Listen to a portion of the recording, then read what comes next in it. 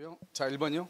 아, 뭐 1번은 여러분요 너무 쉬운 판례여 가지고 물고문 판례는요 1번 보시면 우리가 온천에 관한 권리는 관습법상 물고기다 틀렸죠? 그럼 여기가 특히 특히요 우리 이제 우리 시험에는 안 나왔는데 다른 시험에는 온천수 있죠 온천수 온천수는 생활용수이다 아니다 아니다 온천수 이렇게요 2번은요 타인의 토지에 대한 관습법상 물권이죠 물권의 통행권 이게 타인의 토지에 대한 통행권이죠. 이것을 타인의 토지가 뭐냐? 사도죠 사도. 통행권이죠. 타인, 개인의 토지예요. 토지에 있는 통행권 이걸 사도인데 사도 통행권으로서 관습법상 물권은 인정된다 안 된다? 안 되죠? 3번 근린 공호를 자유롭게 이용한 사정만으로 공원 이용권 줄고요. 공원 이용권은 배타적 권리를 취득했다고 볼 수가 있다 없다? 없다 이렇게. 4번은요 미등기 건물의 양수인은 소유권과 유사한 간섭법상 물권을 취득할 수 있다 없다? 없죠. 그래서 특히요 미등기 건물의 양수인은 우리나라는 원칙적으로 형식주의죠. 형식주의란 말이 뭐예요? 등기를 해야 소유자가 되죠. 그래서 형식주의니까요. 취득했다고 볼 수가 없고요. 5번은요 매도인 갑이 신축한 무허가 건물은 매수인 을에게 등기 없이 뭐만 이전하죠? 점유만 이전해도 을이 건물 소유권을 취득할 수 있다 없다 있다 이렇게 했나요? 저 무허가 건물이죠. 갑이 신축했으면 갑은 등기 없이 소유자죠. 그런데 뭐가 문제죠? 을에게 등기 없이 점유만 이전했죠. 그러면 우리가 신축자는 등기 없이 취득하지만 이전받은 사람은요 뭐가 있어야 돼요? 등기가 있어야 되죠. 등기 소유권 취득할 수 없다 이렇게. 어려운 것은 몇 번이죠? 4번이죠. 4번 이렇게. 자 2번요. 우리가 이제 물권적 청권이죠. 물권적 청권은 조금 복잡한 것처럼 보이지만 실질적으로 이제 물권적 청권은 매년 시험에 나오거든요. 한 번도 빠지지 않고요. 그래서 물권적 청권에서 먼저 여러분 알아야 될 것은 점유권, 점유가 하지 않는 경우 있죠. 어디죠? 지역권하고 저당권이죠. 그래서 반환 청권이었고 점유보호 청권이었고 그 다음에 소유권에 의한 물권적 청권이 준용되지 않는 경우가 있죠. 그것은 어디다? 그것은 뭐죠? 어, 질권하고 유치권이죠. 그래서 질권하고 유치권은 원래 물권 총권이 없다 그래야 되는데요. 팔각 학자들이요 질권은 인정을 하고요 유치권은 여전히 인정하지 않죠. 그래서 유치권 자체에 기한 물권적 청권은 있다 없다 없다 이런 말이죠. 자, 1번 보면 매매를 원인으로 소유권 이전 느끼를 격려해 준 자, 격려해 준 자 가로 묶어요. 우리 물권적 청권은 누가 행사하죠? 물권적 청권은 현재 현재 침해받은 누가 소유자가 소유자가요. 현재 현재 점유하고 있는 누구한테 점유자에게 청구하죠. 점유자에게 이때 점유는 직접 점유, 간접 점유를 불문하지만 점유 보조자는 안 되죠. 그러니까 여기 현재 소유자죠. 현재 소유자가 누구죠? 현재 물권자죠. 현재 물권자. 그래서 종전 소유자나 소유권을 상실한 사람은 된다 안 된다? 안 되죠. 그래서 1번은요. 1번은 소유권 이전 느끼를 격려해 준 자죠. 이걸 뭐란다? 종전 소유자죠. 종전 소유자는 불법 점유자에 대해서 소유권 자체에 의한 물권적 청권을 행사할 수 있다 없다? 없다. 이렇게. 우리 항상 여기서요. 물권적 청권에서 여기 불법 점유자 나오죠? 2번에도 불법 점유자 나오죠? 3번에도 불법 점유자가 나오고요. 이렇게 불법 점유자라고 하는 것은 뭐다? 제3자를 얘기하는 것이고요. 제3자와의 관계에서는 뭐가 중요해요? 등기가 중요하죠. 자 이번은요. 미등기 건물의 매수인이죠 그 건물의 불법 점유자에 대해서 직접 자신의 소유권에 기한 명도를 말 수 있다. 청구할 수 있다. 이렇게 되어 있나요? 자, 미등기 건물의 매수인이죠. 이 사람 이 사람은 제3자와의 관계에서는 소유자로 인정받아 못 받아? 못 받죠. 그러니까 직접 직접 소유권에 기해서 된다 안 된다? 안 되죠. 어떻게 해야 된다? 매도인을 대위해서 이렇게 매도인을 대위해서 이렇게 3번 부동산 양수인은 양도인에게 소유권에 기한 물권적 정권을 유보 이거 봐봐요. 양도인에게 줄고요. 양도인을 뭐란다? 종전 소유자. 다른 말로 뭐란다? 소유권을 상실한 자 이 말이죠. 양도인 종전 소유자 소유권을 상실한 자에게 물권적 총권을 유보할 수가 없고 없고 이때요 양도인은 불법 점유자에 대해서 소유물의 방해 배제를 청구할 수 있다 없다 없다 없다 그래야죠. 4번 매매 계약의 이행으로 토지를 인도받은 매수인이 이전 등기를 마치지 않고 제3자에게 전미하여 인도를 했죠. 이건 여러분요, 이것은 시험에 좀 잘 나오죠. 봐봐요. 이렇게 갑이요, 여기 을하고 있죠. 을하고 계약해서 을이요, 갑한테 잔금을 다 주고 물건을 인도받았는데, 아, 근데 이 사람 미등기다 이 말이죠. 등기를 하지 않는 상태에서 이 상태에서 을이 이것을 또 병하고 매매를 하고요. 목적물을 또 인도했는데, 그래서 병도 지금 미등기인 상태다 이 말이죠. 그러면 갑은 을하고 계약을 하고 잔금을 받았죠. 비록 등기만 자기 앞으로 되어 있다 할지라도 갑하고 을 사이에서는 현재 누가 소유자죠? 을이 사실상 소유, 실질적 소유죠. 그래서 이 을은요 물건을 점유할 권한이 있단 말이죠. 그래서 갑은 을한테 반환을 청구를 못하죠. 이 을의 권리를 그대로 이전받은 병에 대해서도 물건의 반환을 청구할 수가 있다 없다? 없다. 이게 아주 중요하죠 이것이. 이게 바로 4번이에요. 지금 보시면 매매 계약의 이행으로 토지를 인도받은 매수인이 이전 등기를 마치지 않고 제3자에게 전매하여 인도한 경우 매도인은 제3자에게 소유권에 대한 물권적 정권을 말할 수 있다 행사할 수 있다. OX X 제3자에게 물권적 청구이란 말은 반환 청구 이 말이죠 여기서 소유권에 대한 물권적 청구는 반환 청구 이 말이죠 행사할 수 없다 없다 이래야지 5번 임차인이죠 임차 목적물 침해자에 대해서 소유자 인출과 임대인, 임대인을 뭐한다? 대위, 대위에서 행사하죠. 근데 써요 맨 끝에다가요. 뭐라 쓰냐? 임차권이 등기된 경우. 이러면 임차권이 등기가 되죠. 등기. 임차권이 등기가 되면은 그때는 어디 갈수 있다? 임차권이 등기가 되죠. 그러면은 임차권의 기한, 임차권의 기한 방해 제거, 방해 예방을 청구할 수 있죠. 그래서 임차권에 대한 방해 제거, 방해 예방을 말 수 있다, 청구할 수 있다 이렇게. 정답 몇 번이에요? 5번이요. 옳은 것은 이렇게요. 자, 3번은요. 옳은 것은 그랬죠. 이런 물권 변동이죠. 자, 이제 물권 변동을 보면 먼저 이제 기본적으로 한번 보죠. 해제 조건부 보는 이는 아까 있었는데 해제 조건하고 해제하고 다르다고 그랬죠. 해제 조건은 소급해서 무효인데 해제 조건은 언제부터? 그때부터 그때부터 알겠죠? 해제 조건부 법률행위에 의해서 소유권 이전 등기가 격려되었더라도 조건이 성취되면 소유권은 원래의 소유자에게 복귀가 돼. 이때 복귀가 될 때 소급비다. 그때 그때부터 조건이 성취한 때부터.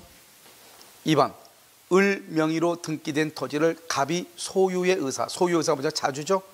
평원공인하게 25년을 점유했죠? 아직 등기를 못했죠 등기를? 올해 점유취득시는 반드시 뭐가 있어야 돼? 등기를 격려해야 등기를 격려받아야 소유권을 취득하죠. 그래서 소유권은 여전히 누구한테 있다? 갑에게 있다. 맞아요 을 명의로 등기됐죠 그러니까 그래서 아직 소유권 누구한테 있다 을에게 있다 이 말이죠 아직 등기를 못 받았으니까 3번 국가가 구유진 임야를 불화 출고요 불화하거나 교환 동그라미 양녀 동그라미 양녀는 뭐죠 넘겨주는 거죠. 그럼 봐봐요. 여기 교환이란 말이 뭐죠? 교환이란 말은 계약이죠. 계약은 뭐죠? 법률 행위죠. 법률 행위는 뭐를 해야 돼? 등기를 해야죠. 그래서요. 법률의 규정에 의한 틀렸죠. 법률의 규정이 아니고 법률 행위죠. 법률 행위에 의한 물권 변동에 해당하므로 뭐를 해야 등기를 해야 없이도 틀렸죠. 등기해야 효력이 생긴다 이렇게. 그래서 여러분요. 우리가 보면 임야를 불화 교환 양력. 그래서 불화 처분한다, 교환한다. 불화한 것은 팔았다, 이제 매매다 이 말이죠. 알겠죠? 그 다음에 교환 양력, 등기를 해야 된다 이렇게. 4번 법률 행위를 원인으로 하여 소유권 이전 등기를 봐봐. 항상 뭐라 그랬죠? 소유권 이전. 소유권 이전 등기란 말이 있으면 무조건 그것은 이행 판결로서 무조건 뭐가 있어야 된다? 등기. 그러니까 소유권 이전에 관한 판결 등록 판결. 판결 밑에다 뭐라 써야 돼요? 조정, 조정, 또는요 화해 또는요 일락 일락 줘서 일락 뭐든지 관계없어 뭐든지 있으면 아무튼 소유권 이전이란 말이 있으면 무조건 뭐를 해야 돼 등기를 해야 돼 소유권 이전에 관한 것은 무조건 등기를 해야 돼 아시겠죠 자 5번요 매수인 을이 매도인 갑을 상대로 한 소유권 이전 등기 청구 소송에서 뭐를 하여 승소 승소하여 판결이 확 확정되었다면 여러분 지금 뭐라고 그랬죠? 소유권 이전에 됐죠. 이전. 이것은 뭐예요? 무슨 판결이다? 이행 판결이죠. 반드시 뭐가 있어야 돼? 등기가 있어야 돼. 그래서 즉시 틀렸죠. 즉시란 말은 등기 없이 이 말이잖아요. 틀렸죠? 뭐를 해야? 등기를 해야 소유권을 취득한다. 정답 몇 번이죠? 1번 이렇게. 자, 4번은요. 자, 이제 우리가 이제 여기 이제 물권 변동이라는 게쭉 나와 있잖아요. 보시면 1번 신축 동그라미 신축. 신축은 187조죠. 그래서 등기 없이 딱 그러면 등기 없이 이렇게.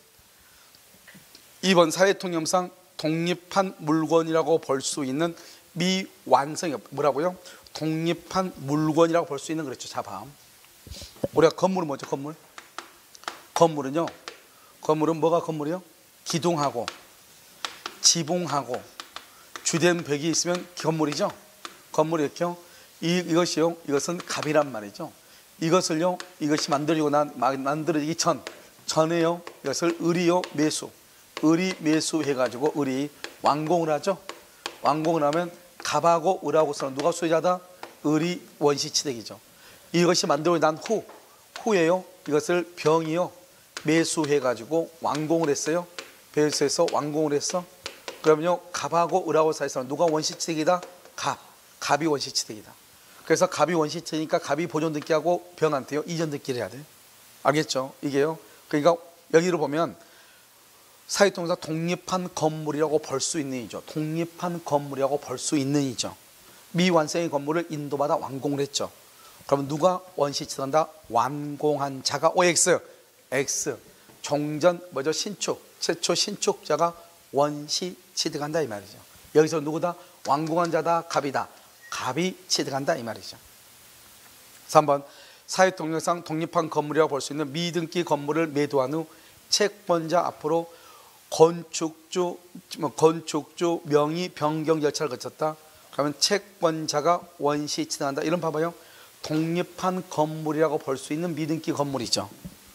그럼 이미 건물이죠. 이미 원시 취득이죠. 그럼 신축자가 소유자죠. 그런데 채권자한테 채권 뭐죠? 건축주 명의 변경만 했죠. 그렇다 해서 채권자가 원시 취득한다 안 한다? 안 하죠. 2번, 3번 똑같아. 누가 원시 취득이다? 최초 신축자죠. 여기서는 3번에서는 채권자란 말이 나왔으니까 누구를 얘기하겠죠? 반대로 하면 채무자 이렇게 아시겠죠? 자 그러면 4번은 봐봐 4번은 봐봐요. 독립한 건물이라고 볼 수 있는 정도의 형태와 구조를 갖추지 않는 그 다음에 줄고 미완성 건물이죠. 그럼 미완성 건물을 인도받아 공사를 했죠. 미완성 건물을 인도받아 공사를 했죠. 이런 경우는 원래의 건축주가 건물을 만다 원시 취득한다. 미완성이니까 미완성 원래의 건축주 그래요. 완성자가 해야 돼요. 완성한 자가 완성한 자가 원래의 건축주가 아니고 완성한 자가 이렇게. 그럼 여기는 건물의 형태라고 볼 수 없다잖아요. 그러니까 여기요 을이 넘겨받아서 을이 완공하면 을이 원시 취득이다 이 말이죠. 아시겠죠? 자 그다음에 5번은요. 부동산 물건을 등기 없이 취득하죠. 자기 명의로 등기 없이 이를 처분한다. 그러면요 등기 없이 처분한 등기 없이 처분 줄고요. 등기 없이 처분 이퀄 물권적 효력 X. 물권적 효력은 없다 이 말이지. 그 말은 무슨 말이죠? 여러분 물권적 효력이 없다는 말이 무슨 말이에요? 물권적 효력이 없다는 말이 무슨 말이에요? 이 사람은 소유권을 취득할 수 있다 없다? 없다. 매수한 사람은. 그런데 매매 계약, 계약 자체는 유효이다 무효이다? 유효. 계약 자체는 유효이다. 채권적 효력은 인정된다 이 말이죠. 채권적 효력은 뭐죠? 계약이죠. 계약의 효력은 인정된다. 그런데 소유권은 취득할 수가 없다 이 말이지. 뭐가 없으니까? 등기가 없으니까. 알겠죠? 옳은 것은 몇 번이다? 1번 이렇게. 자, 5번 옳은 것은요. 1번 부동산 물권 변동 후 등기가 원인 없이 말소, 원인 없이 말소. 그럼 물권 변동 효력에 영향이 있어요, 없어요? 자, 이게 지금 무슨 말이에요? 이거죠. 지금 여기 1번이요. 1번 이렇게 갑이죠. 갑이 있고 2번 을 앞으로 이렇게 등기가 됐죠. 그런데 이 등기가 적법하게 매매가 있었는데 등기가 원인 없이 말소가 된 거예요. 원인 없이 말소. 등기가 원인 없이 말소. 그러면 을의 소유권은 소멸한다 안 한다? 안 한다. 이걸 왜 소멸하지 않는다? 등기는 효력 발생 요건이다. 알겠죠? 그래서 원인 없이 말소 물권은 소멸하지 아니한다. 등기는 효력 발생 요건이다 이렇게. 여러분들이 이제 고득점하지 못한 사람의 가장 큰 특징은 채권법하고 물권법이 점수가 안 나오기 때문이에요. 알겠죠? 그런데 채권하고 물권은 여러분 딱 보면 알겠지만 민총하고 완전 민총은 막 뜻을 하나하나 새겨야 되잖아요. 이게 무슨 뜻이 하나하나 새겨야 된단 말이죠. 그런데 물권은 그게 없어요. 물권은요 중요한 키워드 하나 딱 잡고 거기서 O냐 X냐예요. 왜요? 거의 대부분이 다 뭐다 팔리기 때문에요. 우리가요 단순하게 암기해도 아무 문제가 없는 거예요. 무슨 이야기했죠. 물론 이제 전혀 모르고 암기할 수는 없죠. 이게 다 판례니까 판례 내용을 딱 보고 판례는 기본적으로 이것이 5대 X다가 정확하면 돼요. 아시겠죠? 자 이번요 증여 증여 동그라미 그것을 은닉행위라고 하죠. 증여에 의해서 권리를 취득했으나 매매를 어, 등기 원인을 매매 매매 동그라미 가장 매매이죠. 우리가 가장 매매는 유효이다 무효이다 무효. 그래서 가장 매매는 언제나 무효죠. 언제나 무효. 그런데요 은닉행인 증여로서 유효이죠. 그래서 이 등기를 유효이다 무효이다 유효이다 효력이 있다 그것을 실체 관계에 부합한다 이렇게 얘기해. 유효이다 실체 관계에 부합한다 이렇게. 자 3번 미등기 건물을 매수하였으나 소유권 이전 등기를 받지 못한 경우 이렇게 돼 있어요. 미등기 건물을 매수하였으나 소유권 이전 등기를 받지 못한 경우 위 건물의 소유권을 원시 취득한 매도인을 뭐해서 대위. 매도인을 대위하죠. 등기 없으니까. 불법 점유자란 말이 나왔잖아요. 그럼 불법 점유자 그러면 항상 누구를 대상으로 한다? 등기부를 주 기준으로 해서 판단한다. 이렇게 얘기했죠. 그럼 불법 점유자에 대해서 명도를 말 수 있다. 청구할 수 있다. 있다. 이렇게 대위해서. 직접 청구할 수 없고 대위해서 청구할 수 있다. 이렇게. 4번 미등기 건물을 매수하여 점유 중인 자에 대하여 그 건물의 건립으로 불법 점유를 당하고 있는 토지 소유자는 미등기 건물을 매수하여 점유 중인 자에 대해서 그 건물의 건물로, 건립으로 불법 점유를 당하고 있는 토지 소유자는 그 철거를 할수 있다. 구할 수? 자, 이건 무슨 말이요? 무슨 말인지 알아야 돼요. 봐봐. 4번 봐봐. 4번은 뭐냐면 이런 것이죠. 이게 갑의 토지예요. 갑의 토지인데요. 지금 여기 을이요. 을이 불법으로 무단 건축했어요. 그러고 나서 이것을요. 누구한테 팔았다? 병한테 판 거예요. 이렇게 병한테. 매매를 해서 팔았어요. 매매를 해가지고요. 그런데 이 사람이요. 등기가 된 경우가 있고 미등기가 된 경우 두 가지가 있을 거 아니에요. 알겠죠? 이런 경우는 어떻게 돼요? 이 갑은요. 갑은 등기가 돼 있을 때이 병한테 건물에 철거를 청구할 수 있어요? 없어요? 어? 미등기일 때 미등기 미등기일 때는요. 이 병한테 철거를 청구할 수 있어요? 없어요? 철거 청구할 수 있어 없어? 아, 오, 오 해놨는데 눈 없어요? 알겠죠? 된다고 해놨네요, 오라고. 여기에 지금 누가 지금 불법 건축이죠? 을. 을이 불법 건축을 병이 샀죠? 병은 불법 건축했어, 안 했어? 안 했죠? 그래도 가본 병한테 철거를 청구할 수 있다, 없다? 왜 있다? 있어, 왜 있어? 어? 여러분, 어디, 어디 가서 아직 공부하고 있단 말을 안 하고 있죠? 알겠죠? 우리가 물권적 청구권은 뭐를 불문한다? 물권적 청구권은 귀책 사유를 불문해. 이 사람이 지금 잘못 있어 없어? 있든 없든 간에 관계없이 이 사람 때문에 지금 내 땅이 침해를 당하고 있는 것이 아니고 이 건물 때문에 무단 건축된 건물 때문에 땅이 침해를 받고 있잖아요. 그러니까 이 건물의 소유자가 누구냐는 것은 중요하지 않고 건물만 없애면 되는 거죠. 건물만. 그래서 건물을 없애려면 건물에 대해서 사실상 처분 권한, 철거할 권한이 있는 사람한테 에어컨이 켜면 안 돼요? 철거할 권한이 있는 자에게 청구하는 거예요. 이해됐죠?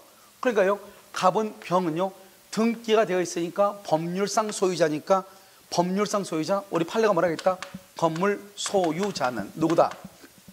대지 점유자다. 이렇게 얘기했단 말이죠. 그러니까요, 지금요, 이 병은 건물의 소유자죠. 그러니까 대지의 점유자인데 이 건물이 처음부터 불법 무단 건축이죠. 그러니까 이 대지를 불법으로 점유하고 있다. 건물이요. 그러니까 그 건물을 철거해야 되죠. 그런데 여기는요 미등기죠. 미등기를 뭐라 한다? 사실상 소유죠. 사실상 소유자도 대지를 점유한 것으로 보는 거죠. 그래서 갑은 병한테 미등기도 철거를 말 수 있다. 청구할 수 있죠. 여기 한번 봐봐. 미등기 건물을 매수하여 점유 중인 자, 미등기 건물을 매수하여 점유 중인 자 병에 대해서 이 말이죠. 건물의 건립으로 불법 점유를 당하고 있는 토지 소유자, 건물로 인해서 불법 점유를 당하고 있다. 이 말은 건물이 적법이다, 불법이다, 불법 건축이다 이 말이잖아요. 그러니까 당연히 가본 병한테 건물의 철거를 말 수 있다, 청구할 수 있다 이런 말이죠. 아시겠죠?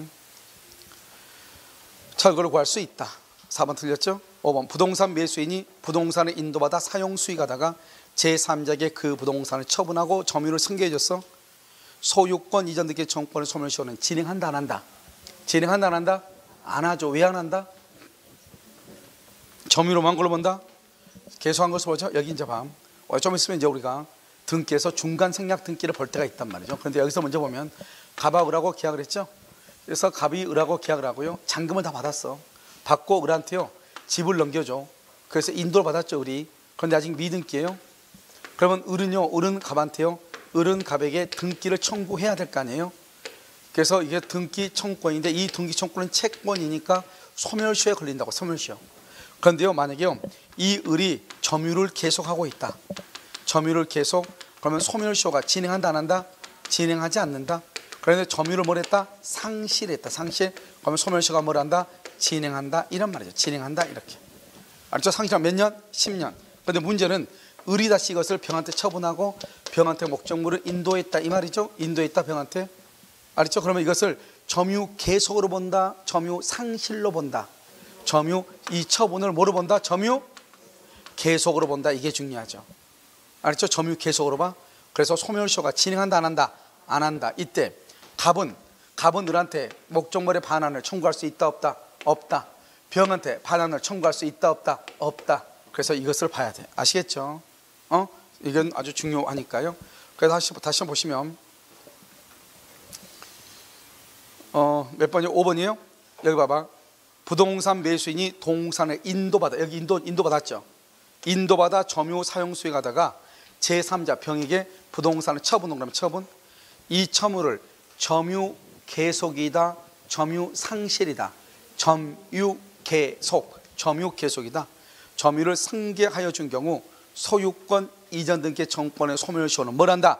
진행한다 안 한다? 안 한다. 점유 계속이니까 소멸시효는 진행하지 않는다. 옆- 옆주고 서면 끝에다가 만약 제척 기간이라면 만약 제척 기간이라면 인도받아 점유해도 인도받아 점유해도 진행한다. 진행한다. 기간이 진행해. 제척 기간에 진행이 돼. 인도받아 점유해도 제척 기간은 뭐 한다? 진행한다. 이렇게 차이가 있다. 이런 말이죠. 알겠죠? 그래서 정답 몇 번이다? 1번 이렇게 1번 영향이 없다 이렇게 자 6번 중간 생략 등기에 대한 설명으로 옳은 것은 이렇게 되어 있나요? 자 그럼 지금부터 이 6번을요 잠시 설명을 해. 우리가 이제 중간 생략 등기라고 하는 것이 있잖아요. 그러면 중간 생략 등기는 보면 뭐 우리가 중간 생략 등기는 우리 민법에서 나오는 것이 아니고 여러분요 부동산 등기법에서요 주로 나올 수가 있는 것이죠. 알겠죠? 그 중간 생략 등기를 보시면 여기에서요. 이렇게 갑이 있죠? 갑이 을하고 계약을 하죠 그럼 원래 계약을 했으면 이 계약은 유효잖아요. 유효니까 어떻게 돼요? 을은 갑한테 등기를 해줄 뭐가 있어? 의무가 있죠. 갑은 을한테 을은 갑한테 등기를 청구할 권리가 있고 갑은 을한테 등기를 해줄 의무가 있죠. 그런데 이것만 있는 게 아니죠. 갑은요 등기를 해줄 의무가 있지만 동시에 대금을 받을 뭐가 있어? 권리가 있고. 을은요 을은 갑에게 등기를 해줄 등기를 청구할 권리가 있지만 동시에 대금을 지급할 뭐가 있어? 의무가 있죠. 이게 무슨 말이냐 권리와 의무가 같이 존재한다 이런 말이죠. 그러면 이때 이 등기 청권을 뭐라고 한다? 채권이다 이렇게 얘기하죠. 그럼 우리가 채권은 소멸시효에 걸리거든요. 그 다음에 채권은요 뭐할수 있나 재산권의 일종으로서 양도할 수가 있거든요. 우리가 보통 보통 채권을 볼까요? 자 갑이 이렇게 을하고 있으면요 을이 갑에게 1억 원을 빌려줬죠. 그럼 이걸 1억 원의 채권이죠. 채권이면 이 사람은 이 사람을 뭐라 한다? 채권자라고 하고요. 그냥 이 사람을 뭐라 한다? 이 사람을 채무자라고만 하는 거예요 그럼 만약에 을이 갑에게 1억 원을 빌려준 채권이 있는데요. 이 채권을 병한테 넘기고 싶어. 병한테 병한테 채권을 양도하고 싶어?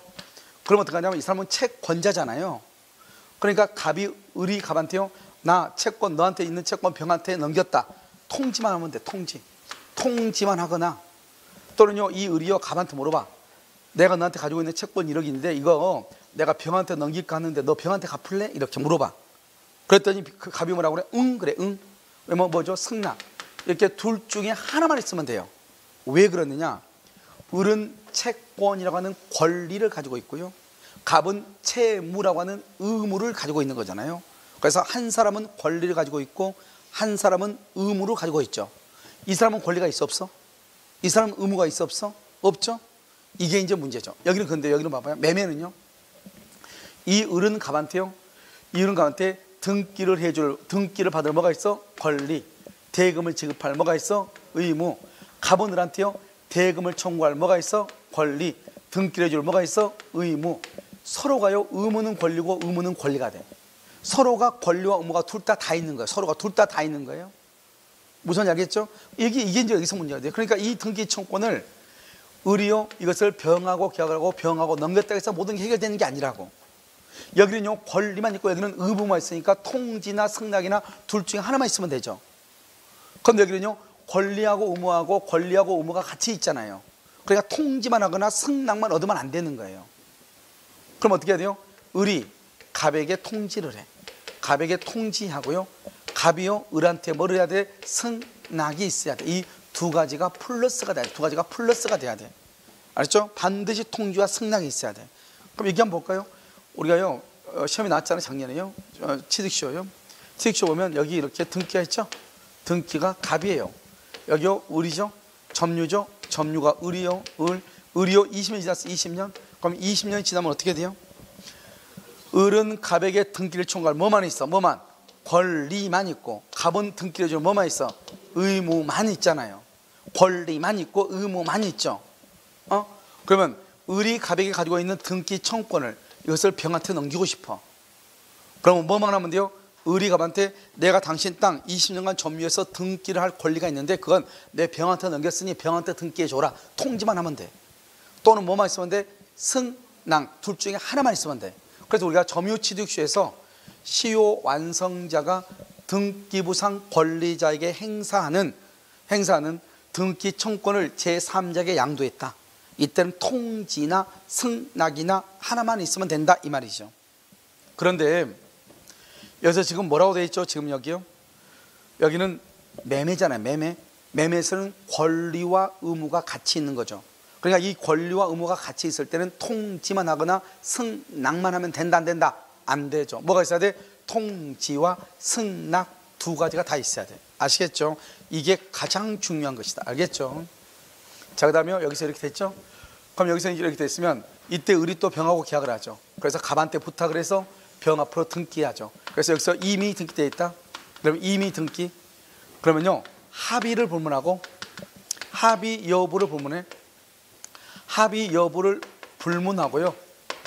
불문하고 병이 소유자가 돼. 합의가 있냐 없냐 안 따져. 그래서 병이 소유자가 돼. 합의를 불문하고 병이 소유자가 돼. 어? 지금 세상 갑에서 병으로 이 등기하기로 갑하고 을하고 을하고 병하고 병하고 갑하고 합의가 있었냐? 따지지 않는다고. 무조건 병 앞으로 등기가 되면 병이 무조건 소유자. 여기서 중요한 것은 합의 여부를 불문한다 이 말이 중요해요. 그러면 이것은요 형사처벌 받아 안 받아?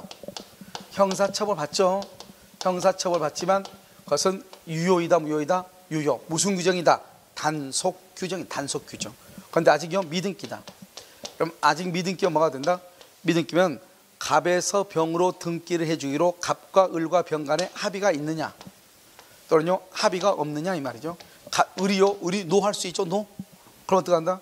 그럼 어때 원래는 어떻게 하죠? 을이 갑한테 등기 받아서 병한테 등기해 줘야죠. 그럼 만약에 안 해주면 어떻게 돼요? 병이 병이 누구를 을을 뭘 해서 대위 대위해서 청구할 수 있다. 대위해서 알겠죠? 그런데 만약에 갑에서 병으로 하기로 합의가 있다. 합의 합의가 있으면 네 가지가 중요해. 첫 번째요 병은 병은 어떻게 요 직접 직접 누구에게 을에게 아노노노노 누구에게 갑에게 등기를 할수 있다. 청구할 수 있다. 여기서 직접이란 말이 중요해. 만약에요. 그런데 갑이 갑자기 마음이 변해서 갑이 거절해요. 갑이 등기해 주기를 거절하죠. 그러면 을을 머리에서 대위, 대위해서 청구를 해. 대위에서 갑이 거절하면 만약에 안 된다 하면 다시 세 번째는요. 이 우리가요. 갑하고 을하고 갑과 을 간에 매매 대금을 인상했어. 매매 대금. 매매 대금을 인상을 해. 그럼 매매 대금을 인상을 하잖아. 인상. 대금을 인상하죠. 그러면 인상된 대금하고 대금하고 등기가 무슨 관계다? 동시이행이에요.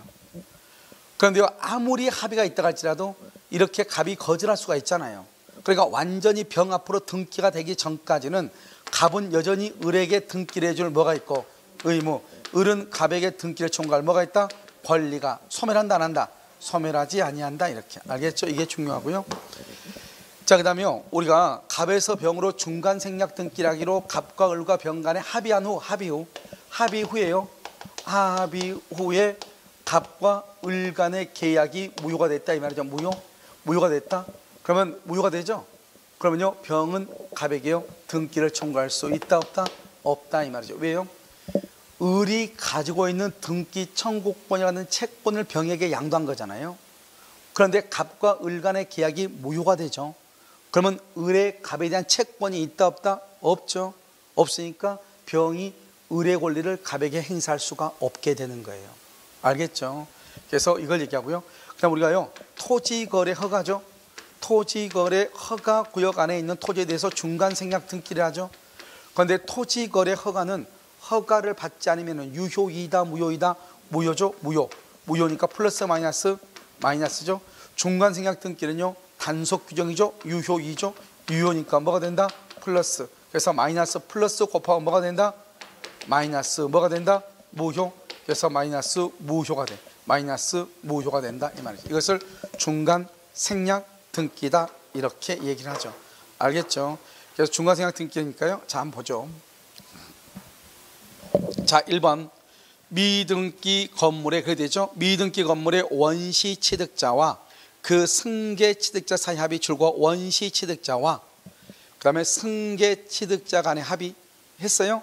이건 뭐예요? 갑이 건물을 신축했는데 그리고 을한테 팔았어. 그럼 원래는 어떻게 하죠? 신축할 때는 등기 없어도 되죠? 처분할 때는 자기 앞으로 등기하고 난 다음에 보존 등기하고 난 다음에 이전 등기 해줘야죠. 그런데 갑이요 직접 을한테 보존 등기를 했다 이 말이죠. 이러한 보존 등기는 유효이다 무효이다 유효 이것을 무슨 등기라고 한다? 모두 생략 등기 모두 생략 등기 이렇게. 자 이번은요 갑이 을이여 갑소유 부동산을 매수하여 병에게 전매했으나 등기는 갑명의로 아직 남아 있다. 합의 여부를 불문하고 병은 직접 갑에게 등기 청구 된다 안 된다. 안 되죠? 봐봐. 합의가 있으면 여기 만약에 병은요 갑에게 합의가 있으면 병은 직접 갑에게 등기를 청구하지만 합의가 없다? 합의가 없죠? 그럼 어떻게 한다? 병이 을을 뭘해서 대위 대위해서 청구한다 이말 대위해서. 알겠죠? 대위해서 청구한다 이렇게. 그래서 합의가 있느냐? 직접. 합의가 없느냐? 대위 이렇게. 아시겠죠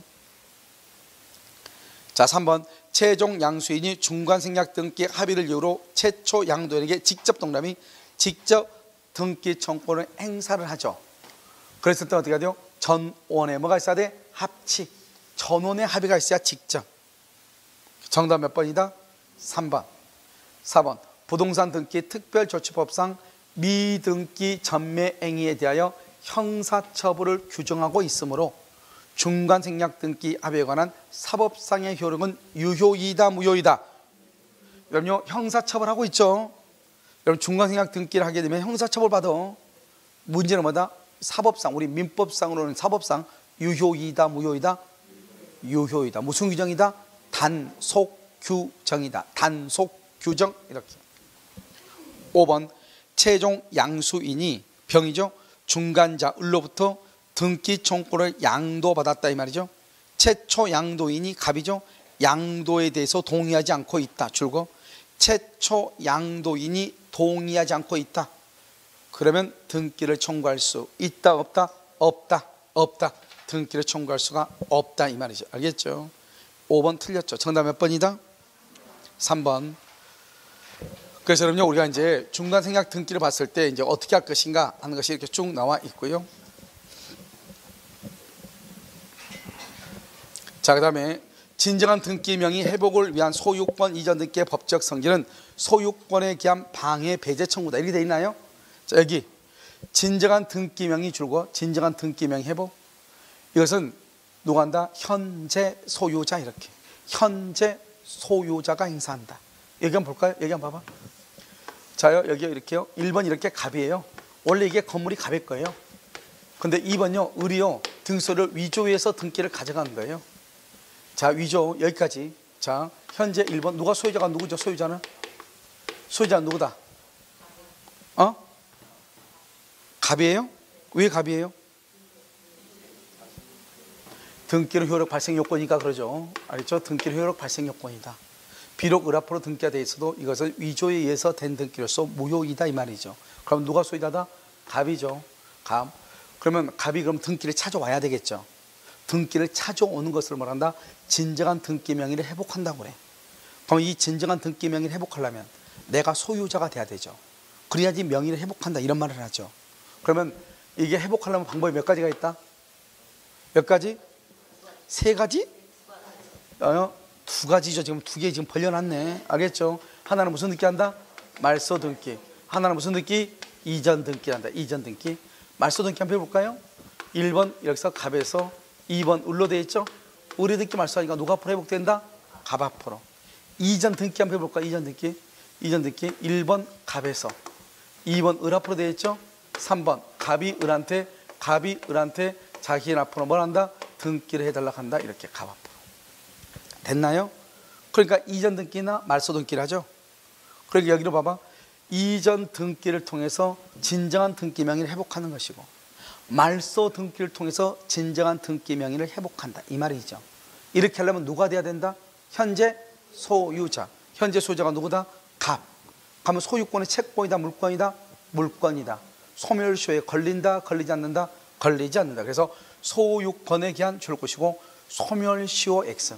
소멸시효에 걸리지 아니한다. 이렇게. 알겠죠? 자, 2번 가등기 이후에 부동산을 취득한 제3자는 가등기에 기한 소유권 이전 등기 청구권이 시효 완성으로 소멸되었더라도 가등기 권리자에 대하여 본등기 청구권의 소멸시효를 주장하여 그 등기의 말소를 말할 수 없다 청구할 수 없다. 이렇게 돼 있나요? 뭐 이것도 시험에 우리가 이제 소멸시효 할 때 물권 청구할 때 잘 나오죠. 여기 한번 봐봐. 우리가 이제 가등기를 지금 보는 거예요. 자 1번요. 1번 지금 갑이죠? 자 2번은요. 2번은 지금 누구예요? 가등기죠 가등기가 이렇게 2월질이 있는데요.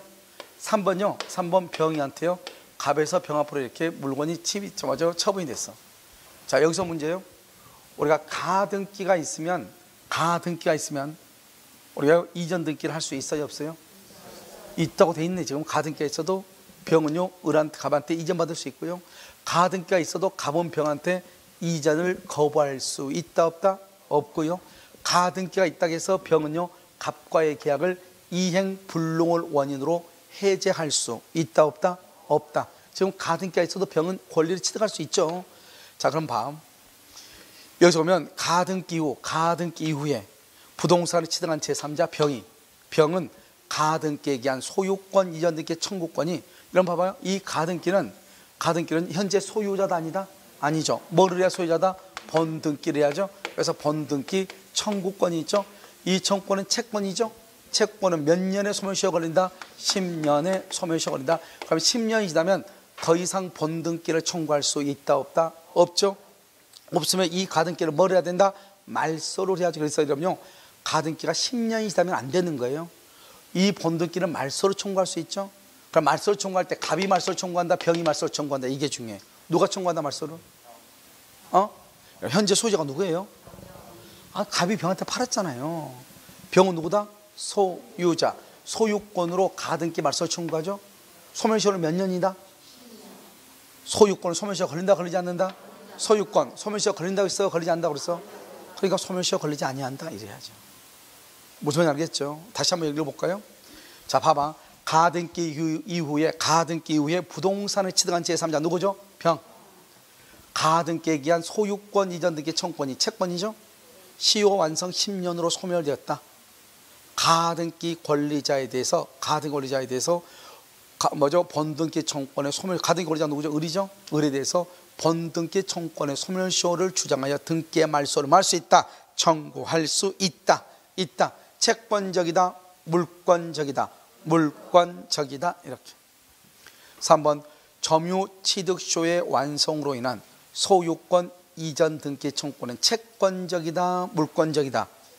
채권적이죠. 왜요? 점유 취득쇼 줄고 등기 함으로써 소유권 취득에 등기함으로써 함으로써 소유권을 취득해. 그러니까 취득시는 아직 소유자다 아니다? 아니죠. 그래서 물권이다, 채권이다, 채권이죠. 알겠죠? 4번. 을이 갑소유 부동산을 매수하여 인도받아 사용 수익하다가 줄거 병에게 처분했죠. 그러면 병에게 처분했죠. 이때 처분한 경우는 처분 처분이라고 됐죠. 처분 동그라미 점유 상실이다, 점유 계속이다. 점유 계속. 소멸시효 진행한다 안 한다 안 한다. 그래서 소멸시효가 진행한다 틀렸어. 진행하지 아니한다 이렇게. 5번 매수인의 매도인에 대한 등기점 봐봐. 여기 봐봐. 매수인 줄거 봐. 우리가 이러면요 채권적하고 물권적이란 말이 있죠. 채권적인 뭐고 물권적인 뭐예요? 어떤 차이가 있어요? 채권적 청권, 물권적 청권 차이가 뭐예요? 음? 현재 현재 물권자다. 현재 물권자. 그럼 뭐 물권적 청구권. 봐봐. 2번 저당권이 물권이죠. 1번 무효인 1번 저당권 등기의 말소를 청구해. 2번이 1번을. 그러면 2번 저당권은 물권이니까 물권적 청구권이라고 그래요. 무슨 말 알겠죠? 자, 그런데요. 여기 매도인 봐봐. 어디 갔어? 여기 매수인의 매도인에 대한 등기 청구권이죠? 그럼 매수인은요, 현재 소유자다 아니다? 아니죠. 뭐를 해야 소유자? 등기하기 전이죠. 그러니까 아직은 소유자다 아니다? 아니죠. 물권이 아니죠. 그럼 뭐다? 채권이죠. 그래서 채권적 청구권이다. 이렇게. 자, 2번. 청권 보존을 위한 가등기죠. 가등기에 의해서 뭐를 해야 소유자가 된다? 본 등기를 해야 소유자죠. 본 등기를 하기 위해서 등기를 청구하죠. 아직은 소유자도 아니다? 아니죠. 그럼 물건이 아니죠. 그럼 뭐다? 채권, 채권적 청구권이다. 이렇게. 됐죠? 치, 시효 취득에 기한 등기 청권이죠. 시효 취득에 기한 등기 청권이요. 시효 취득. 현재 소유자다 아니다. 아니다. 현재 소유자가 아니죠. 그럼 채권적이다, 물권적이다, 채권적이다, 채권적 청권이고요. 중간 생략 등기에 있어서 최종 양수인이죠. 최종 양수인은 뭐를 해야 소유자다? 등기를 해야. 아직 소, 등기했다 안 했다? 안 했죠. 채권이다, 물권이다, 채권이죠. 채권적 청구권이다 이 말이죠. 그래서 여러분요. 채권적 청구권에 관한 것이 22회 때요. 1번, 2번, 3번, 4번, 5번 이렇게 나온 것을 한꺼번에 묶어 놓은 거예요. 무슨 말인지 알겠죠? 그러니까 채권 청구권 가장 대표적인 게 뭐다? 매수인. 그 다음에 점유취득 시효죠. 그 다음에 뭐가 있다? 가등기에 한 본등기 청구권.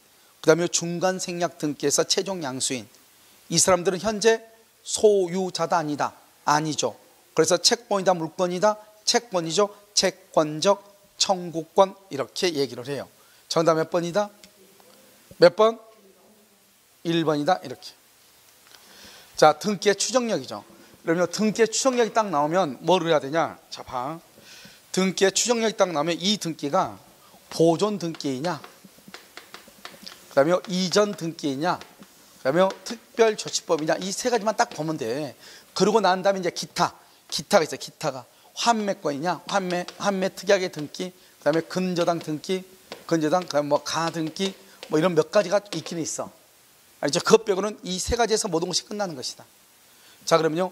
보존 등기는 갑이 건물을 신축했어. 신축했는데 등기는 을 앞으로 되어 있고요. 갑이 사정을 받았는데요. 등기는 누가 앞으로 되어 있어? 을 앞으로 되어 있고요. 그 다음에 등기는 을 앞으로 되어 있는데요. 갑이요. 갑이 매도 사실을 뭐한다? 부인해. 누가 부인한다? 갑이요. 갑이 판 것을 부인을 해. 그럼 이런 이 세 가지의 경우는 추정력이 있다 없다? 추정력이 없다. 추정력이 없다고 말은 무효이다 이 말이 아니에요. 추정력이 없다고 하는 것은 이 등기가 입증이라 돼 입증. 입증을 누가 한다? 을 스스로 가야 돼. 추정력이 없으니까. 나머지는요 다 뭐가 있다?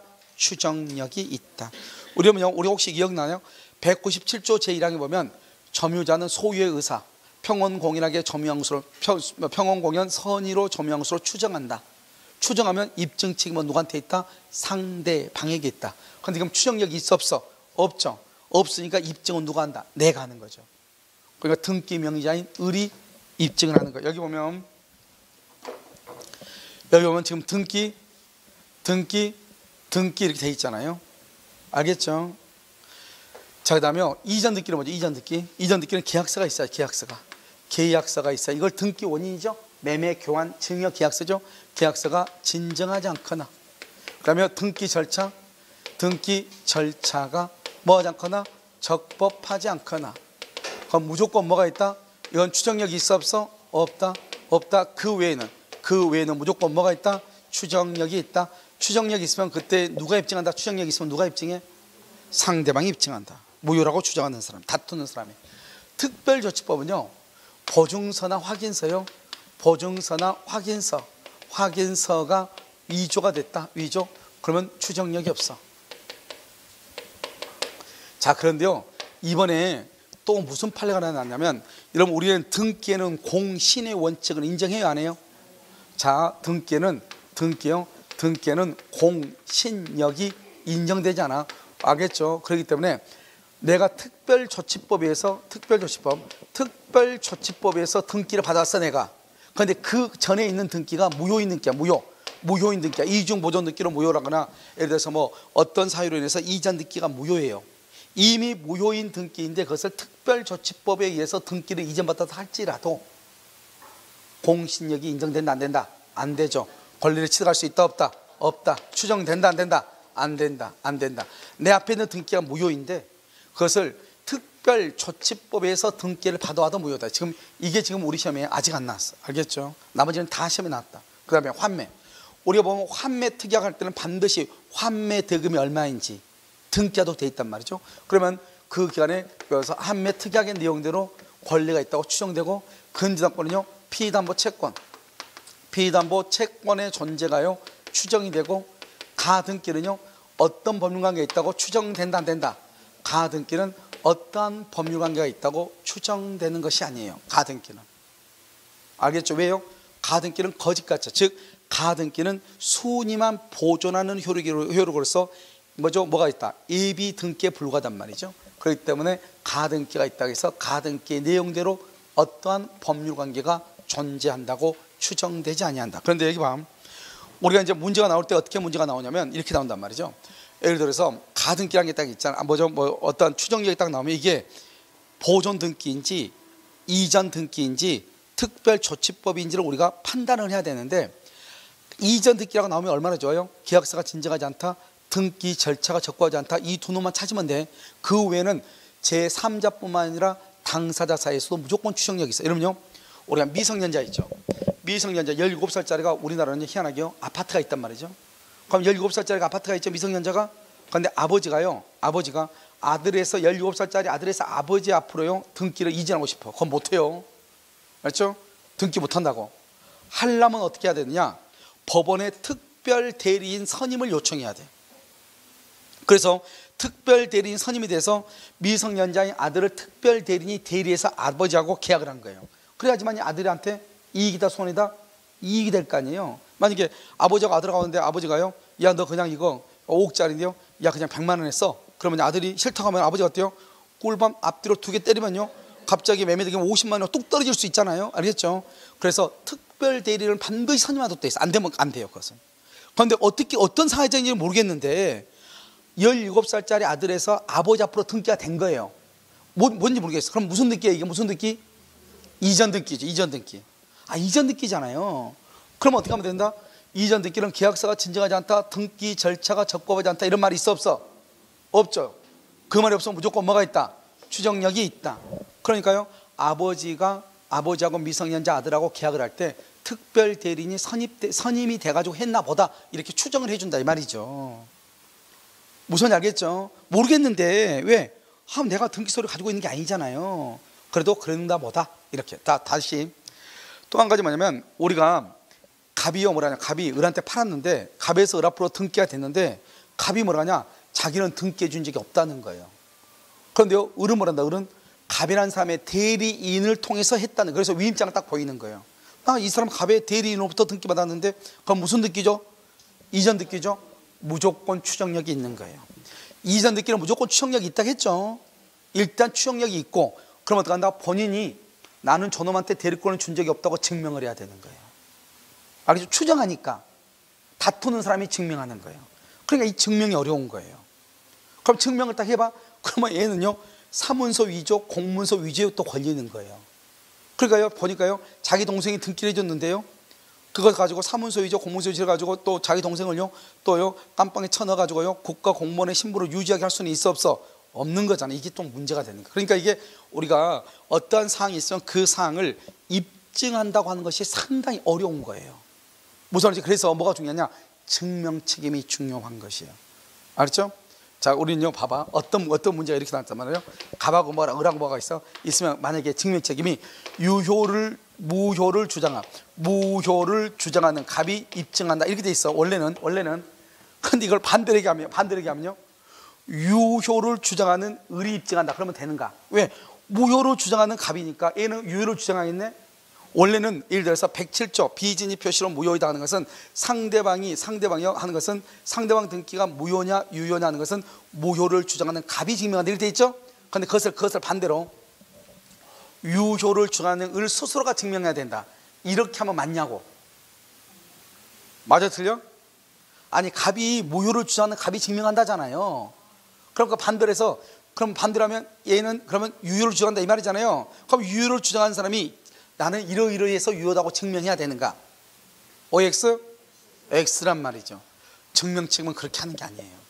여러분 그렇게 하면은 야 그럼 너가 한번 증명해봐 이러지. 그럼 법원 가서 서로 알죠? 그러다 보면요 150년 재판이 걸린다 이 말이죠. 여러분 증명 책임은 유효라고 주장하는 것도 이 증명하는 것도 어렵고 무효라고 증명하는 것도 어려운 것이에요. 그래서 증명 책임을 잘못하면 패소하는 거예요. 그러니까 증명은 아무나한테나 증명 책임을 먼저 지우는 것이 아니고 원칙적으로는 법률관계 분류설에 의해서 주요 사실은 누가 하고 간접 사실, 간접 사실과 뭐저 정황 증거를 누가 하고 이렇게 딱 나눠져 있는데 우리는 그런 거 볼 필요가 없고 일단 입증 책임은 실체법 민법에서 봤을 때는 현재 현재 현재. 현재요? 우리가 만약 에 추정이다? 이렇게 나왔으면 추정한다? 그러면 누가 유리해? 상대방 유리하죠. 그러면요 현재 유리한 사람이 증명할 필요가 있나요? 아니 내가 가만히 있으면 유리한데 말 잘못하면 불리하게 되면 안 되잖아요. 그래 유리한 사람이 증명하는 게 아니에요.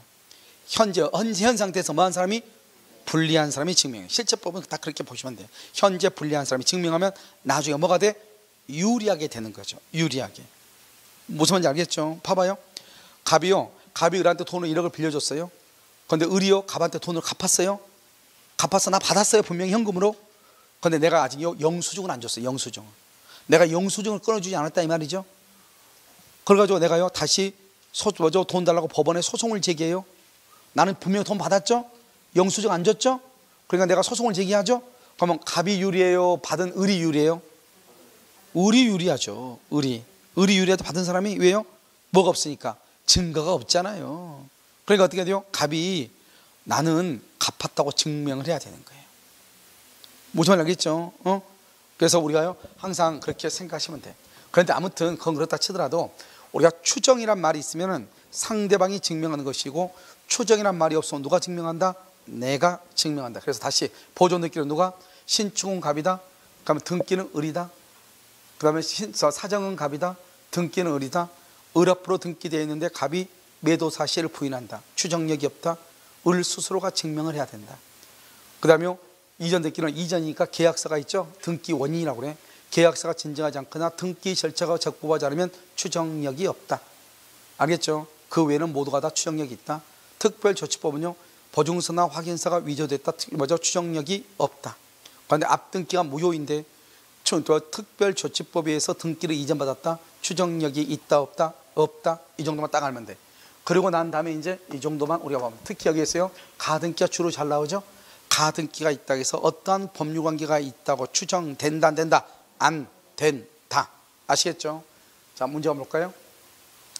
자 1번 소유권 무슨 느끼? 보존이네 보존 보존 동그라미 보존이란 말이 키워드예요 그러면 신축한 것이 아니다 신축 신축이 아니다 그 등기는 추정력이 있다 없다 없다 추정력이 없다 인정된다 틀렸죠? 2번 등기 명의인이 등기 원인 행위의 태양이나 과정 거기까지 줄고 원인 행위의 태양이나 과정 자 이 말이 무슨 말인지 알아야 돼. 이 말이 무슨 말이에요? 보존 등기예요, 이전 등기예요, 특별 조치법이에요. 어? 이 말이 보존 등기냐고 이전 등기냐고 특별 조치법이냐고. 이건 무슨 말인지 몰라요? 여기 봐봐. 여기 한번 봐봐. 여러분요. 딱 있는 것만 알고 없는 건 모르면 그건 안 되죠. 계약서는 뭐 계약서는 뭐라고? 계약을 뭐라고 그래? 계약. 계약을 뭐라고 그래? 계약이라는 것은 뭐냐면 청약과 승낙에서 계약이 되죠. 민법 총칙 그러니까 여러분 기초가 중요하다고요. 청약과 승낙에서 계약이 되죠. 계약을 뭐라 한다? 법률 요건 다른 말로 뭐라 한다? 원인이죠. 원인 원인 그러니까요 원인이란 말은 계약서란 말이죠. 알겠죠 지금? 그러니까 지금 여기에서 봐봐 여기에서 등기 원인 행위의 태양 원인 행위의 태양 태양은 뭐죠? 분류 이런 뭐죠? 과정 등기 원인 계약의 과정이죠. 계약의 종료 태양이 되면 종료 또는요 과정 그 말은 뭐죠? 매매 계약, 경환 계약, 증여 계약 이 말이죠. 그거는 계약이니까 계약은 뭐다? 이전 등기죠. 이전 등기는 계약서가 진정하지 않다. 등기 절차가 적법하지 않다. 그런 말이 있으면 추정력이 없고 두 개가 없으면 무조건 뭐가 있다? 추정력이 있다. 봐봐. 지금 여기 계약서가 진정하지 않다. 등기 절차가 적법하지 않다. 추정력이 없고 그 외에는 모두 다 추정력이 있다. 아시겠죠? 그래서 지금 여기 보면 지금 계약서가 진정하지 않다 말이 있어 없어? 없죠. 그럼 무조건 추정력이 있는 거예요. 우리가 봤을 때 어떻게 해요? 원인행의 태양이나 과정이 다소 다르게 주장하고 있네 다르게 운 이놈 하고 딱 찍죠. 그러면 톡 떨어지는 거예요. 무슨 말인지 알겠죠? 어? 자 3번 전 소유 명의자가 실지하지 이런 봐봐 실지하지 아니한다 이건 뭐죠? 허무인이죠 허무인 여러분요 죽은 사람이나 이 세상에 없는 사람으로부터 등기를 이전받을 수 있나요 없나요? 없죠 그래서 허무인 그 다음에 상, 저 사망자 사자 사자나 허무인 명의로 된 등기를 이전받았다 그 등기는 추정된다 안 된다. 안 되겠죠. 당연히 그것은. 알겠죠? 두 개 안 돼. 소유권은 추정된다 X. 그 다음에 4번. 소유권 무슨 등기? 이전 등기가 뭐가 됐어? 불법 말소. 불법 말소. 등기는 뭐다? 효력. 발생 요건이다. 효력 발생 요건 따라서 최종 명의는 회복 등기가 격려되기 전이라면 적법한 권리자로 추정된다 안 된다? 추정된다 안 된다? 회복 등기가 격려되기 전이라도 추정되죠. 알겠죠? 왜요? 불법 말소가 되면 여전히 뭐다? 소유자죠. 회복 등기가 되기 전이라도 소유자로 본다 이 말이죠. 알겠죠? 4번 무슨 등기? 이전 등기죠. 이전 등기는 지금 여기 딱 이전 등기가 딱 나오면 딱 암기해. 뭐라고 암기해야 돼? 계약서가 진정하지 않다. 등기 절차가 적법하지 않다. 그런 말이 있어 없어? 없죠. 그럼 무조건 뭐가 있어? 추정력이 있어. 그럼 읽지 마. 추정력이 있다. 인정된다. 그놈이 정답이에요. 전 등기뿐만 아니라 제3자에 대해서 추정력이 인정된다. 이렇게. 정답 몇 번이다? 5번이다. 이렇게. 다시 9번. 등기부상 명의인으로부터 부동산을 매수하여 점유하는 자. 이렇게 돼 있나요? 봐봐. 재밌는 말이죠. 등기부상 명의인, 갑이죠. 그 사람으로부터 부동산을 매수했어. 그러니까 매도인도 갑이다 이 말이죠. 집 판 사람도 갑이고 등기부도 갑이에요. 그 사람한테 내가 샀어요. 나는 잘못이 있어요, 없어요? 없죠, 당연히. 그래서 과실 없는 점유자. 3번, 2번. 무허가 건축물 관리대장의 소유자로 등재된 사실만으로 무허가 건물에 대한 소유권을 소유권이 있다고 추정된다. OX. 왜 X죠? X야. X야. 왜 X죠? 여러분요, 우리가 소유권은 소유권은 뭘 가지고 소유권을 정하죠? 등기부죠, 등기부. 여기는 뭐죠? 건축물 대장이죠. 일단은 아니죠. 두 번째, 무허가 건축물 대장이라고 하는 것은 무엇이냐? 그것은 행정상 편의를 위해서 만들어 놓은 거예요. 아니, 이 무허가 건물의 소유자가 누군 줄 알아야 그 사람한테 건물 철거하고 통지하고 통지 안 하면 과징금 물겠다 이렇게 해줘야 되잖아요. 그래 안 그래? 그런 행정상 편의를 위해서 만들어 놓은 게 무허가 건축물 대장이고 무허가 건축물 대장의 소유자로 등재됐다 해서 법률상 소유자로 인정된다 안 된다 안 된다 이 말이죠. 어제요. 어제 이제 누군가가 요즘 뭐 사진관 뭐 셀프 사진관 그런 게 있나 봐요. 그런 사진관이 이렇게 있는데 뭐 이렇게 뭐 사람이 별로 없어도 되나 봐요. 그래서 사진관을 하는데 실제 평수가 뭐 8평인가 있으면 되는가 봐요. 그런데 서울이에요. 보면 그 봉천동이라고 하는 동네가 있는데 거기는 시유지 땅 위에 무허가 건물이 되게 많거든요. 근데 그 상가가 무허가 건물, 무허가 뭐 땅 위에 시유지 땅 위에 있는 무허가 건물인 거예요. 임대인이 임대를 한다고 하는데 어떻게 되냐 물어보더라고요. 어, 우리가 이제 시, 유지에 있는 서울시 시유지에 있는 땅 위에 보면은 어떻게 되어 있냐면요. 83년인가 4년 이전의 것은 보호가 돼요. 그 이후에 무허가 건물은 보호가 안 돼요. 알겠죠? 딱 구정 구분돼 있어. 그 전에 건 보호돼. 그 이후에 거 보호 안 돼. 두 번째는요. 그 이후의 거 있잖아요. 그 이후. 그 이후의 것은 어떻게 하냐? 당연히 보호는 안 되지만 지금 현재요. 뭐가 건물인데도 불구하고 사람들이 거래를 하고 있어. 왜요? 한번 버티면 뭐가 나올 것 같은 그런 기분이 들잖아요. 우리나라 사람들은요. 그러니까 실제로 하고 있고 그래서 만약에 거기서 철거 명령이 나 있다. 그러면 철거한다면 그 건물만 철거할 수는 없죠. 그렇잖아요. 거기에 있는 모든 건물을 다 철거를 해야 되잖아요. 이 건물만 철거해? 그런데 바로 옆에가 사진관이 있다는 거예요. 뭐가 건물이 아니고 자기 땅 위에 있는 건물 사진관. 근데 이쪽에서 이쪽을 이쪽을요 막 그 공격을 해가지고 민원 놓고 그러면 어떡하냐 이렇게 물어보더라고. 그다음 무슨 관계 있어요? 알겠죠? 뭔지 한번 알아봐야 되는데 그렇지 않는다 할지라도 그래서 매도 인하고 계약을 하는 것이고 이 건물이 철거되면 보증금 반환받지 못하냐 그 정도까지 살려면요 오래 살아야 될 거예요 알겠죠? 어? 우리가 그러니까 이론상으로는 그렇게 쉬워도 실제로 있는 건물을 철거하고 집행하고 이렇게 하려면 시간이 엄청나게 걸리죠 그리고 그 건물 하나만 시유지에 있는 게 아닐 거 아니에요 아마 그 일대가 등부가 다 아마 시유지에 있는 땅일 거예요 알겠죠? 그렇기 때문에 뭐 크게 문제는 없을 것이라고 얘기, 얘기는 했는데 아무튼 우리가 이제 그렇다면 무허가 건축물. 알겠죠? 자 3번요. 근저당권.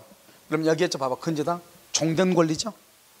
종된 권리는 반대로 뭐가 있다? 주된 권리. 주된 권리를 뭐라 한다? 피담보 채권. 이렇게. 피담보 채권의 존재도 추정된다. 4번은요. 부동산 소유권 이전 등기에 관한 특별조치법이네. 특별조치법. 알겠죠? 그럼 특별조치법은요? 봐봐 보증서나 확인서가 위조됐다 특별조치법 이전의 등기가 무효이다 그러면 추정력이 있어 없어? 없다고 그랬죠? 그럼 여기 한번 봐봐요 여기요 소유권 이전 등기 전 등기 명인이 무권리자이기 때문에 그로부터 소유권 이전 등기가 원인 무효로서 원인 무효로서 말소돼야 한다. 그 등기가 원인 무효로서 말소되어야 하는데 그 등기가 다시 특별조치법에 의해서 이전됐다 이 말이죠. 추정력이 있다 없다 없다 없다 이 말이죠. 그래서 번복된다 이렇게. 자 5번은요. 등기 명의자가 등기부의 기재와 다른 등기 원인을 주장한다. 무슨 말이죠? 이게 무슨 무슨 뭘, 뭘 얘기해? 다른 등기 원인이 뭐예요? 다른 등기 원인이 뭐예요? 이전 등기잖아요. 여러분 이전 등기, 이전 등기는 추정력이 있어요, 없어요? 어, 못 빼고 못 빼고 계약서가 진정하지 않다. 등기 절차가 적법하지 않다. 두 개 보고 추정력이 있어 없어? 있죠. 지금 계약서가 진정하지 않다. 그런 말 있어 없어? 있어? 없죠. 그럼 무조건 뭐가 있다? 추정력이 있다. 깨어진다, 깨어지지 않는다. 깨어지지 아니한다. 이렇게. 자, 정답 몇 번이다? 2번이죠. 자, 여기까지 이제 우리가 뭐냐면 등기의 추정력에 관한 것이에요. 알겠죠? 그래서 등기 추정력에 관한 것은 여러분들 딱 암기해야 돼. 암기. 자, 어떻게 무슨 느낌 무슨 느낌? 여러분 우리가 등기의 추정 보면은 뭐 선생님들 보면요 하나하나를 설명하더라 그러면 큰일 나. 알겠죠? 그렇게 하면 끝없어. 물론 다 틀리다는 게 아니고 그러면 하나하나를 다 암기해야 되면 등기의 추정력은 여러분요 기본서 한번 보면 알겠지만 거의 아마 세 페이지 정도 갈 거예요. 그 세 페이지에 나와 있는 모든 것들이 딱 압축돼. 보존 등기, 이전 등기, 특별 조치 뭐 세 가지로 딱 압축이 되는 거라고. 무슨 알겠죠? 그래서 아무것도 아니니까요. 잠깐 쉬었다 이러면요. 가등기에 대해서 한번 살펴보도록 그렇게 하겠습니다.